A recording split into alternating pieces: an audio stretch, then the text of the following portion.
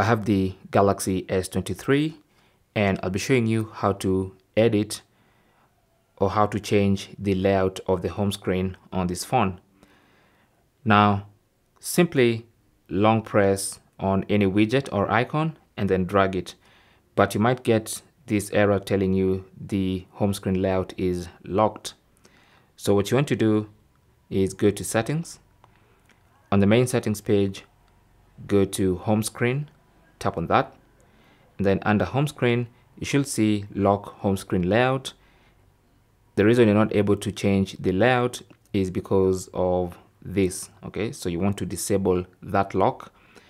And once you disable that, you'll notice that you can now change the home screen layout by moving widgets and icons around. Okay, so just long press and move move it exactly the way you want it.